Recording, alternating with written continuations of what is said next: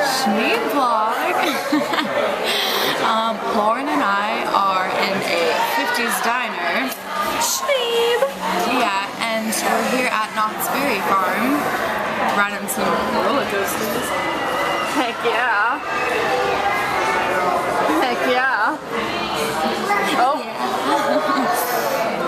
um, Lauren made me, she dragged me onto a creepy, creepy, what's it called, a log ride, which I hate because I don't like getting wet.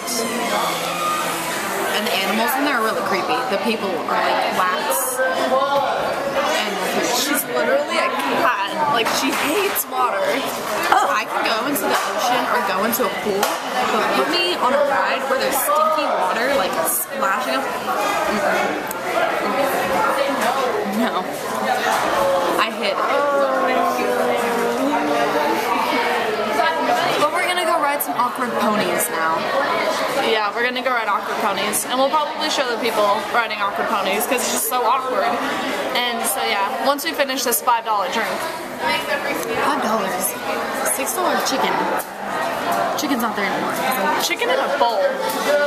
Chicken in a bowl, man. Yeah. Okay, well. Schneeb out.